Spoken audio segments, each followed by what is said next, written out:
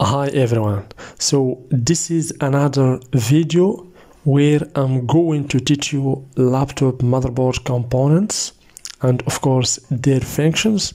So as you know, to be a good technician and to maintain laptop motherboard repairing, you should first know about the components, the laptop motherboard components, how to test it, what is the different between components, etc. So let's get started. So let's begin from the beginning. So first, let's take a look to motherboard parts. So as you know, there is basically about six mandatory parts in every motherboard. The CPU circuit, as you can see here, we have the CPU circuit, the North bridge circuit. Here, basically, we have the North bridge always you will find the North bridge near to the CPU socket as you can see. And then the graphic card. Over here we have the graphic card. Sometimes in some laptops or computers you will find as you can see the graphic card is integrated with the North bridge. Okay and the South bridge as you can see here or the ICH over here we have the South bridge okay? Or the ICH basically this ICH is it controls all motherboard ports and connectors okay? And then of course near to the ICH will find the super IO here we have the super IO the CMOS battery and of course the BIOS near to this ICH and of course we have the CMOS battery as I told you before. So basically we have this circuit we have this circuit this one also the ICH circuit and of course plus the power circuit like the charge IC circuit the 3 volt 5 volt circuit the CPU circuit etc okay? So here for example in this picture as you can see we have this kind of component this is basically inductors okay? This one also is inductors. We have here inductors. So you will find inductors in every circuit in the motherboard. So the inductor basically is always exist in the power rail as we have seen in the previous course so always the inductor is connected to high path where we have the power. Okay? So the inductor basically is used to increase the current in the circuit. Okay? And of course we use these inductors or coils in order to to to detect the short circuit. Okay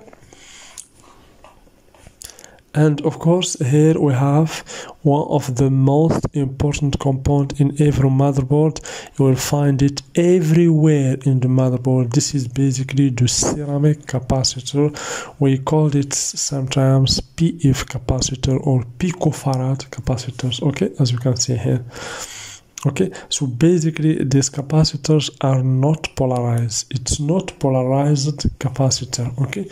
Means they don't has plus and minus okay?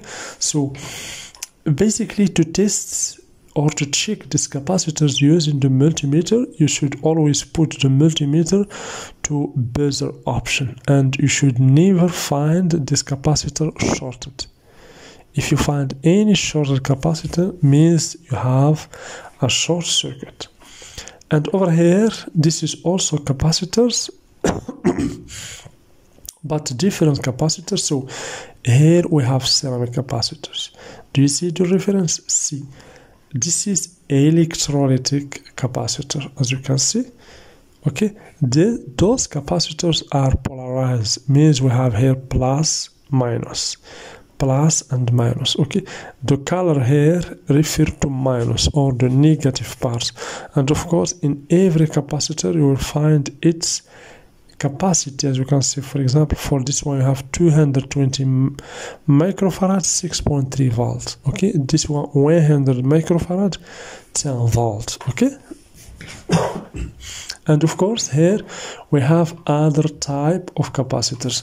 Of course for this kind of capacitors or of course we find it also in in every circuit in the motherboard.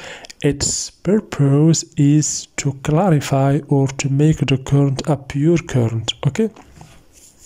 So this is basically capacitors used in terms or in purpose of filtering for filtering purposes we have here also those capacitors we called it tantalum capacitor. Also those capacitors are polarized. As you can see we have here plus and minus. Exactly like this one plus and minus.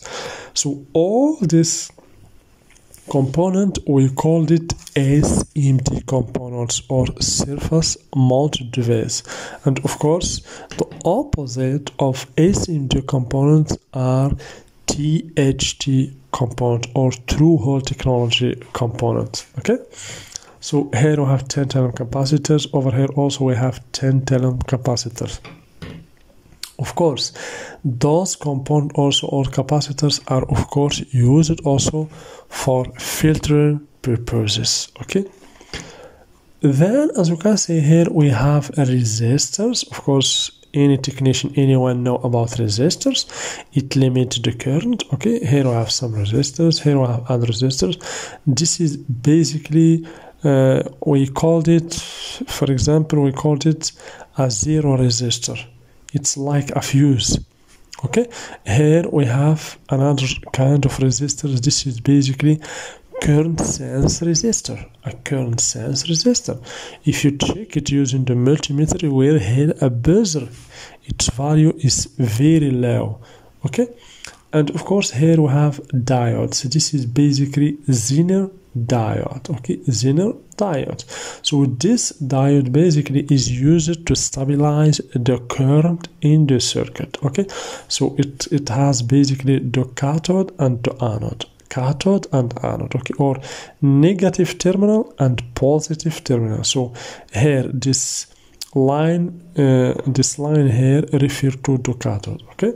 So of course to check it or to test it using the multimeter you should always put the black probe of the multimeter here in this side in the cathode where we have this line or here and the positive terminal here okay and you should get a reading about 700 drop voltage or 400 drop voltage okay? And if you swap the probes of the multimeter you should not get anything in the multimeter. And if you get a short circuit or a buzzer uh, I mean if you get a buzzer or a very low low reading means the diode is shorted bad you should change it with another one okay? Here basically we have a picture from a motherboard where we have crystal. As you can see this is basically crystal oscillator. Here we have crystal oscillator. Next to this IC this IC we called it this IC we called it clock generator IC the clock generator IC has as a purpose to give the the clock or the timing for the whole motherboard. And of course as you know without the clock the motherboard cannot work properly. No synchronization. Okay? So the clock generator is the IC that is responsible for timing and clock in the motherboard.